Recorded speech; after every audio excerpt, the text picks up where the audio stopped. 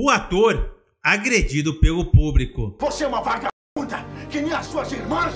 Jackson Antunes fez o Leonardo na novela favorita. O personagem, eu digo aqui, o personagem, tinha o costume de agredir a sua esposa, a Catarina.